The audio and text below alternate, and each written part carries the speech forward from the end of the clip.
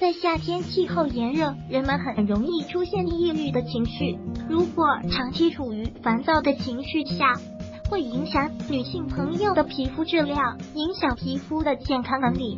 专家建议，在炎热的夏天，应该每天正确的小睡，定期午睡，对身体有很多好处。午睡方法不正确，真的会威胁生命。夜间睡觉的时候，人体的心率和血压都将下降。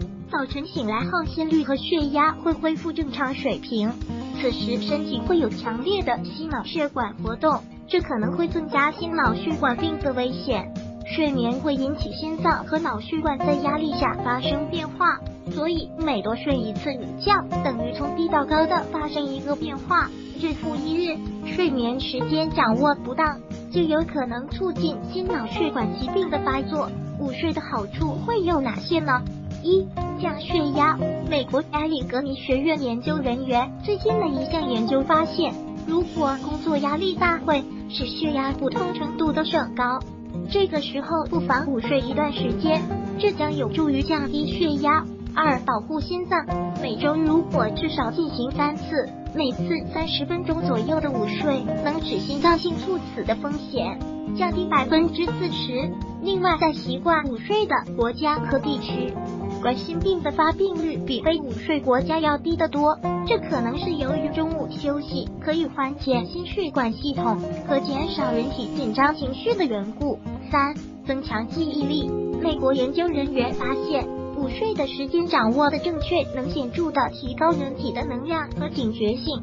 德国杜尔多夫大学表明，午睡不仅能有效的消除疲劳，还能增强人们的记忆力。四、提高免疫力。专家发现，中午一点是睡眠的一个绝佳时期。短时间睡眠可以很好的刺激我们体内的淋巴细胞，并增强自身的免疫细胞的活跃性。五、振奋情绪，赶走心理的抑郁。午睡可以很好的改善我们的负面心情，减少自身的紧张情绪，缓解下午工作的压力。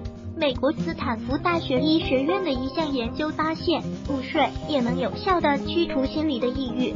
事实上，我们的身体需不需要小睡，这与自身的体格、睡眠状态、年龄和疾病密切相关。夜间睡眠时间和质量都很差的话，中午应该给身体充一下电。睡眠质量差的老人也可以通过午睡得到真正的休息。所以，合理的午睡对身体有很多的好处。如果喜欢本视频，请分享并订阅本频道。